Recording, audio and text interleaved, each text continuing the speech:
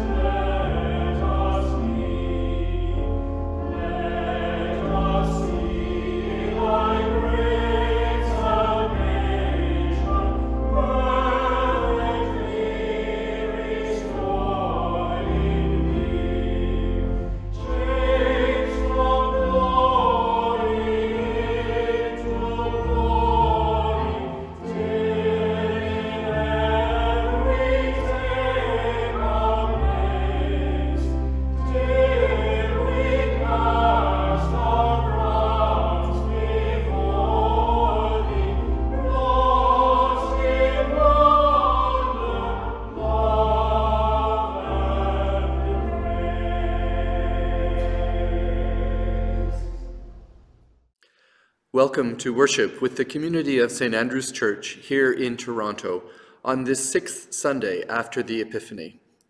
Whether you are a longtime member of St. Andrew's or this is the first time you have dropped in on us, We are delighted that you are here, and we pray that we will all be blessed in this time together. We are very pleased to be able to gather for in-person worship again at 10:30 on Sunday mornings at King and Simcoe Streets. You are more than welcome to join us and to praise God together in our historic building and in the company of this vibrant community. Church school and nursery are also offered during the time of the service. We will continue to follow protocols to make our gatherings as safe as possible and ask that you wear a mask and that you distance yourself from others. Anyone attending must be double vaccinated. We look forward to reducing these requirements as the impact of the pandemic subsides. Our online services will also continue each Sunday morning. There are several new programs in adult education being offered, and we hope that you will consider joining them. Beginning this Thursday, February the 17th, we will have a three-week online study focused on the Presbyterian Church in Canada and Indigenous people. We will look at several documents, including the 1994 Confession, in exploring this relationship and how we might begin to walk in a better way with our Indigenous neighbors. The Sunday morning Bible study is beginning a new series on the Psalms entitled Discovering the Psalms Passion, Promise, and Praise. We begin at 9 a.m., and you can join either in person in the boardroom or online via Zoom. Our Lenten meditations will begin on March the 9th and will feature speakers from missions and ministries we support here in Toronto, who will talk about how they have continued their work of hope and healing in the midst of the pandemic. They will be available on YouTube online on Wednesdays at noon, and we will have an opportunity for conversation with the speakers on Thursday evenings at 7 p.m. For more information on these programs and to register, please visit our website at standrewstoronto.org or contact me, Reverend Bob Ferris, by email. Each year, St. Andrew's offers a study award to people involved in the congregation who are currently enrolled in programs of post-secondary education. For more information or to apply for this uh, st study award, please visit our website. We are very excited to announce that our winter-spring 2022 season of Friday noontime recitals is beginning again. Given the current unknown around COVID-19, we will record the first seven recitals for YouTube viewing without a live audience. We hope that we will be able to welcome live audiences back to the church in April. Make a point to join us each Friday. For more details, check the church website or the Music at St. Andrew's Facebook page. Again, thanks for joining us today. May you know God's presence and peace as we continue to worship. Let us come before God in prayer. Let us pray. God of majesty and mystery, we come before you in wonder and humility. Source of all that is, you are beyond our imagining, astonishing us with the detail and designs within your creation. Word of hope and healing, you touch our lives with truth and tenderness, revealing our need and our gift. Spirit of purpose and possibility, you move within us when we least expect it, awakening our gifts, urging us to respond. Receive our praise and prayer this day, and prepare us to receive your word in its wisdom and warning. For we come to you through Christ our Lord, trusting in his grace and truth. God of life and love, at this season of the year, our hearts are grateful for all the love which touches our lives. Still, we confess that we are not always shining, shining examples of the love we long for. Forgive us those times when we have failed to keep our word and have disappointed those who love us. Forgive us when we have given into tempers and temptations and have disappointed your hopes for us. And now let us continue in our confession in the silence of our hearts.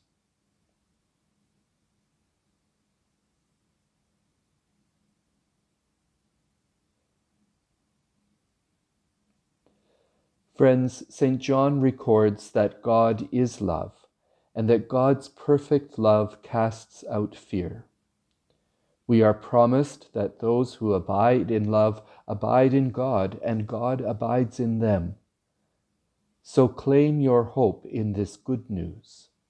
Your sins are forgiven. God's perfect love abides in you through Jesus Christ our Lord. God, who is love, renew and remake us through the grace of your Son, Jesus, your love made flesh. God, you are the source of wisdom and understanding for us. In the midst of all that distracts us, help us listen in stillness. In the midst of competing voices, may we hear your word for our lives and our times. By your Spirit, help us discern Jesus' call to follow him. And hear us as we pray in words that Jesus has taught us, saying, Our Father, who art in heaven, hallowed be thy name. Thy kingdom come. Thy will be done on earth as it is in heaven. Give us this day our daily bread. Forgive us our trespasses, as we forgive those who trespass against us Lead us not into temptation, but deliver us from evil. For thine is the kingdom, the power, and the glory, for ever and ever. Amen.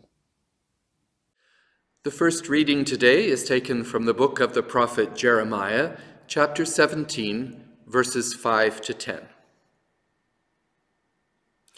Thus says the Lord Cursed are those who trust in mere mortals and make mere flesh their strength, whose hearts turn away from the Lord. They shall be like a shrub in the desert, and shall not see when relief comes. They shall live in the parched places of the wilderness, in an uninhabited salt land. Blessed are those who trust in the Lord, whose trust is the Lord. They shall be like a tree planted by water, sending out its roots by the stream. It shall not fear when heat comes, and its leaves shall stay green. In the year of drought, it is not anxious, and it does not cease to bear fruit. The heart is devious above all else. It is perverse. Who can understand it? I, the Lord, test the mind and search the heart to give to all according to their ways, according to the fruit of their doings. Here ends the first lesson. Today's psalm is Psalm 1. Blessed are those who do not follow the advice of the wicked, or take the path that sinners tread or sit in the seat of scoffers. But their delight is in the law of the Lord, and on that law they meditate day and night. They are like trees planted by streams of water, which yield their fruit in season, and their leaves do not wither. In all they do, they flourish. The wicked are not so, but are like chaff that the wind drives away. Therefore the wicked will not stand in the judgment, nor sinners in the congregation of the righteous.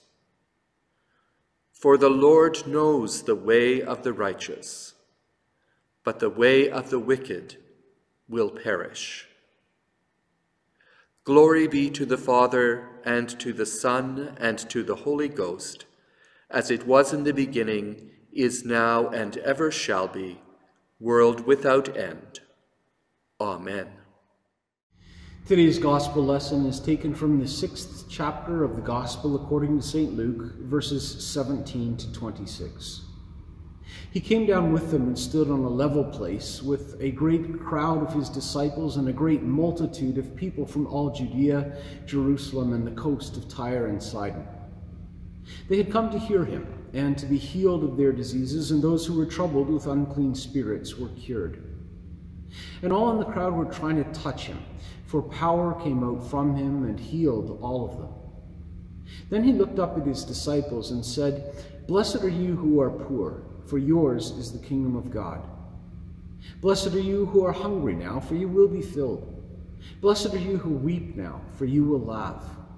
Blessed are you when people hate you, and when they exclude you, revile you, and defame you on account of the Son of Man. Rejoice in that day and leap for joy, for surely your reward is great in heaven, for that is what their ancestors did to the prophets.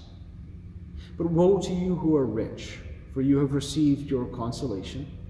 Woe to you who are full now, for you will be hungry. Woe to you who are laughing now, for you will mourn and weep. Woe to you when all speak well of you, for that is what their ancestors did to the false prophets. This is the gospel of our Lord Jesus Christ. This is the word of the Lord. Thanks be to God. As we all know, the four gospel writers offer a variety of stories about the life and teachings of Jesus of Nazareth. We'll all share that common focus on the life of Jesus, and while there are many passages that offer clear parallels to each other, it is also the case that each of the four Gospels recounts stories which seem similar, but which have very different details. Such is certainly the case in today's suggested reading from the Gospel of Luke, chapter 6. Today's suggested Gospel reading offers the opening verses in Luke's account of the sermon that is also offered in Matthew chapter 5. The passage in Matthew is likely the better known of these versions and is commonly referred to as the Sermon on the Mount. But even though both Matthew and Luke recount the words of that sermon, there are differences between Matthew and Luke's accounts, and the differences, I think, are worth noting. In Matthew's version, for example, the extended monologue, this sermon, is set on a mountain, hence the common description of it as the Sermon on the Mount. In Matthew 5, we read, When Jesus saw the crowds, he went up the mountain, and after he sat down, his disciples came to him. By contrast, today's reading from Luke sets the scene after Jesus had come down from the mountain and was standing on a level place or a plain. In the verses preceding today's text, in verse 12, we read, Now during those days he went up on the mountain to, out on the mountain to pray, and he spent the night in prayer to God. And when the day came, he called his disciples and chose twelve of them, whom he also called apostles so he was up the mountain. But then, in this case, before Luke begins this particular Gospel's account of the famous sermon, we are told that Jesus and the disciples first come down from the mountain to be amongst the people rather than removed from them. We read he came down with them and stood on a level place with a great crowd of his disciples and great multitude of people from Judah, Jerusalem, and the coast of Tyre and Sidon. It was in the midst of that throng of people that Luke's sermon is set. They had come to him, those crowds, to be in his presence, bringing to him their weaknesses, their illnesses, their troubled spirits. We read they had come to hear him and to be healed of their diseases, and those who were troubled with unclean spirits were cured. Somehow that great crowd knew and they experienced that in the presence of Christ, healing and wholeness was to be found. And Luke's Gospel, unlike the parallel text in Matthew chapter 5, inserts another comment that is worthy of our attention. We read, And all in the crowd were trying to touch him, for power came out from him and healed all of them. For Luke, there was a healing, transforming power to be experienced simply by being in the presence of Christ. But why this difference for the setting of this sermon? Why does Matthew set the scene with Jesus and the disciples up on a mountain, while Luke sets the scene with Jesus and the disciples having come down from the mountain and gone into the midst of the crowd? One explanation is that an important emphasis in the way that Matthew shaped his account of the story of Jesus is that he was doing so against the backdrop of Jewish history and the characters that were important in that history, not least of which was Moses, who received the Ten Commandments, that foundational document of the newly formed people of Israel, while Moses was up a mountain on Mount Sinai. For Matthew, the Sermon on the Mount was then meant to be understood against that backdrop as being a foundational teaching for the church, as foundational a teaching for the early church as the Ten Commandments had been for the people of Israel. In certain ways, Jesus' words in that sermon were therefore to be interpreted as a commentary on, uh, an interpretation of how the Ten Commandments were intended to be understood and lived by the followers of Christ. By contrast, Luke's setting of the sermon, not on the mountain, but down, in, down the mountain, in the midst of the people from, and people from different places, namely Judea and Jerusalem and Tyre and Sidon, emphasized that the power of Christ's presence was to be understood and interpreted and experienced in the midst of the hungers and needs and struggles and challenges of real people who had come to Jesus seeking help seeking healing, seeking life, and having come to know that in the presence of Christ, healing and wholeness was to be found. And it's right there, in the midst of the crowds, that we are invited to read and to reflect on Luke's presentation of Jesus' famous sermon. In spite of the difference in the setting, however, it is important to note that in both Matthew and Luke, the words of the sermon are specifically and explicitly directed towards a certain group of people, namely Jesus' disciples. In Matthew, we read that after Jesus had gone up the mountain, his disciples came to him, then he began to speak and taught them, saying, and the sermon unfolds from there. Similarly, in Luke, we read that while he was in the midst of the crowds, then he looked up at his disciples and said, and the rest of the sermon unfolds from there. Clearly, then, for both of these gospel writers, the words of the sermon were to be understood as words that were directed towards those who had already decided to follow Christ. There were crowds around, but both of these gospel writers made it clear that the teachings of this famous sermon were directed not towards the nameless crowds, but towards the first disciples, the followers of Jesus, those who had made the decision, the choice to follow him. This is, this is an important detail, since there are times when the church has tried to present the teachings of Jesus, and particularly some of the more difficult and challenging messages in that sermon about love for enemies and the importance of forgiveness and the call to seek the kingdom of God, the invitation to holiness, amongst so many other things in this sermon. We have understood and tried to present these teachings as directives and commands for the world which is not wrong exactly, but which was not the real focus of Jesus' words according to the gospel writers. The rest of the world, which in Luke's account was symbolized by those gathered crowds, well, they were welcome to listen in, but the challenging and transforming lessons were intended for those who had already decided to follow Christ. To put it another way, to expect that those who are not Christian should abide by the teachings of Jesus creates complexities and difficulties that the passage did not intend. But to those who, like most of us, have decided to try to follow Jesus with our lives, these words should come as both challenge but also as inspiration. Challenge, because if we as his followers are not even trying to live by these difficult teachings, why should we expect others to do so? And inspiration, because if we do, then we begin to experience the vision of life that these words set before us. Not only our lives are blessed, but the world around us begins to experience blessing as well. This is the promise of the sermon that was offered so long ago. In the presence of Christ, both then and now, obedience to the words of Christ on the part of his followers would lead to blessing not only for their own lives, but for the world around them. Which leads us then into the words of the sermon itself. In both Luke and Matthew, the sermon begins with a series of statements about those who would be blessed by the coming of the kingdom of God and in the presence of Christ. But again, there are differences in the accounts between Luke and Matthew. Matthew's account of the Sermon on the Mount begins with the statement, Blessed are the poor in spirit, for theirs is the kingdom of heaven. While Luke's statement is simply, Blessed are you who are poor, for yours is the kingdom of God. Without doubt, the shift from poor in spirit to poor reflects emphases that are going to be found throughout Luke's gospel on the economic implications of the gospel message.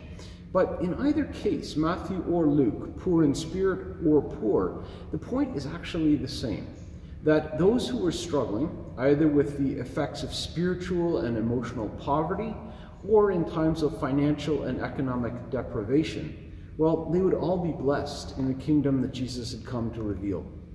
In neither case was Jesus declaring that a poverty of spirit or a poverty of economic resources was itself a blessed state of being, but instead he was suggesting that the kingdom of God had come to meet the needs of those who were poor and poor in spirit, to lift them up, to restore them to a life of peace and dignity, and to satisfy their needs the hungers of those who were suffering.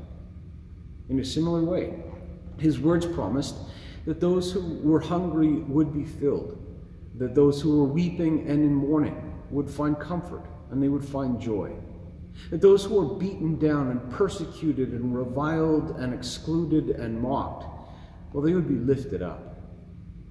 There were cautions included in Luke's gospel for those who had become complacent and comfortable with the state of the world and the systems and structures of power in the world as it is. Woe to those who are rich, woe to those who are full, woe to those who laugh, woe to those who enjoy popularity and favor in the systems and structures that cause misery for others. With the blessings of the kingdom of God for those who are suffering, would also come challenges to the ways of power and prestige in this world, since the kingdom of God would inaugurate a reign of justice for all. These words set before us then a vision of a world transformed, a world restored, a world renewed. But if we bear in mind that these words, remember, were intended and directed towards Christ's followers, it's important to realize that they become words that are not merely descriptions of what the kingdom would be like, but also anticipations of what was supposed to happen in the presence of the body of Christ, the community of his followers in this world, just as it had happened in the presence of Christ, in the person of Jesus of Nazareth.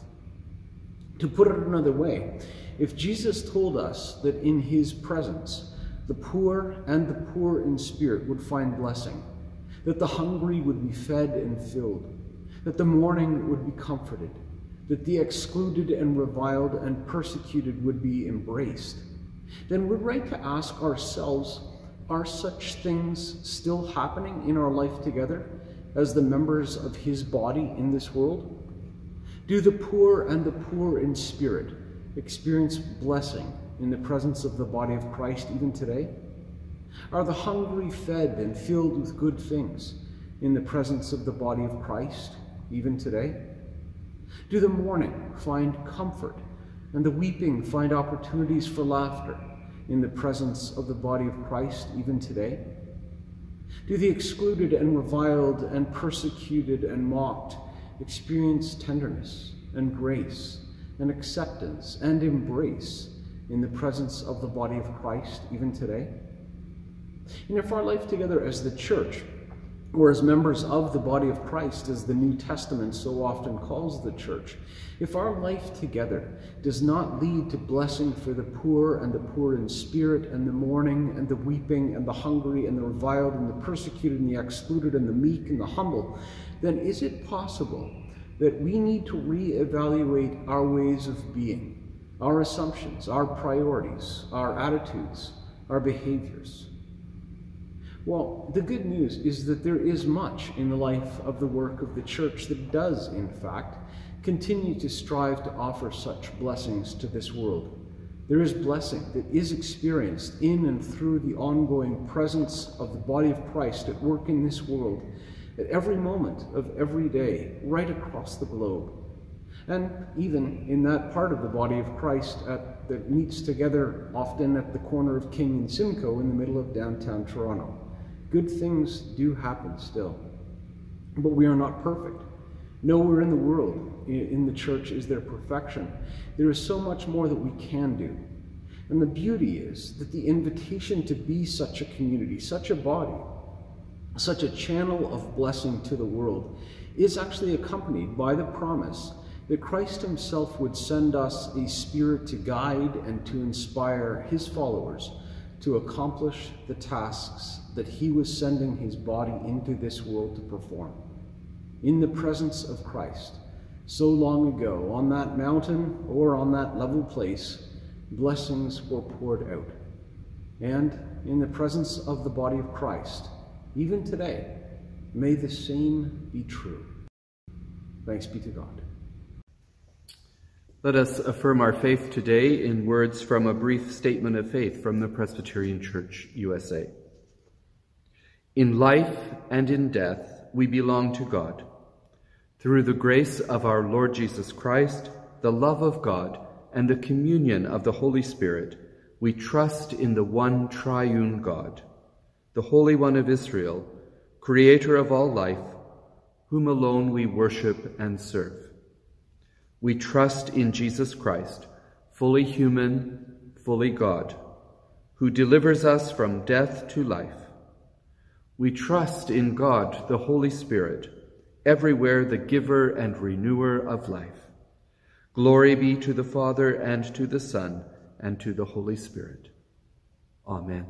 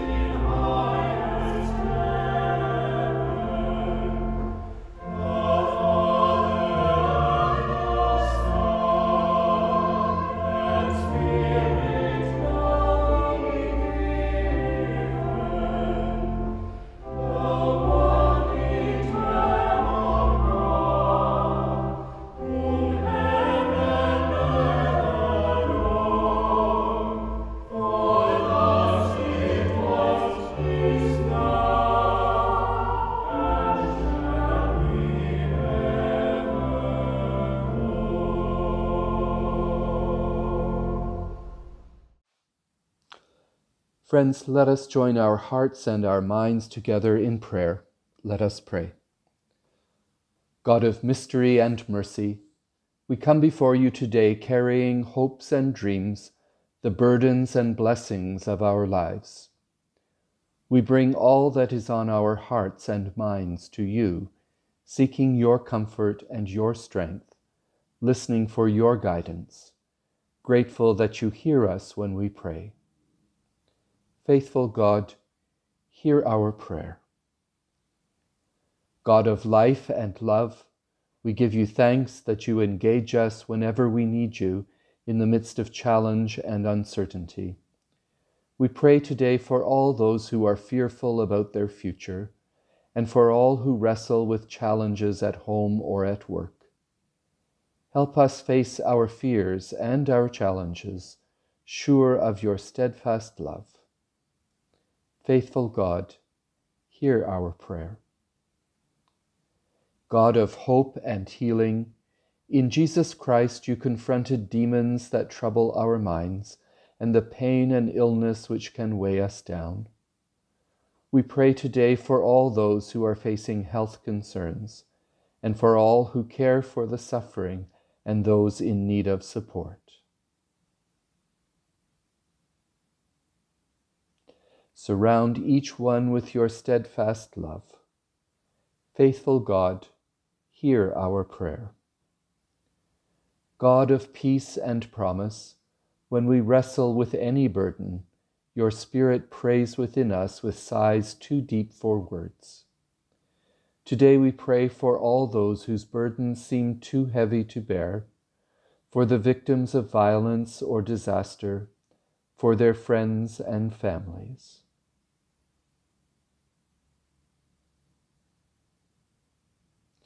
For refugees at risk in so many places in the world and those making a new home in our community.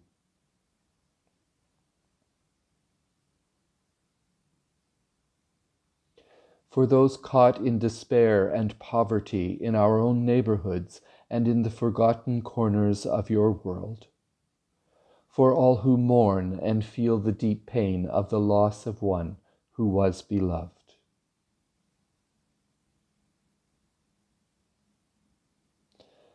Renew the strength of all facing realities beyond their control with your steadfast love.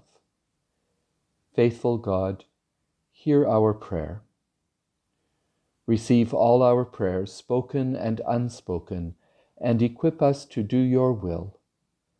We pray in the name of Jesus the Christ, who is our Lord, our Saviour, and our friend.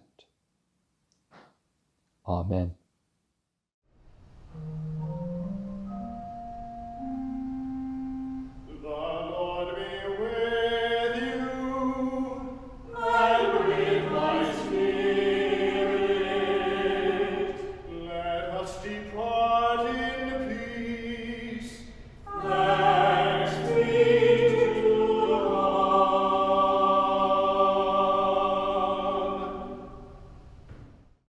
And now may the love of Almighty God, the grace of our risen Lord and Savior Jesus Christ, and the comfort and friendship of God's Holy Spirit dwell with you and those you love this day and forevermore.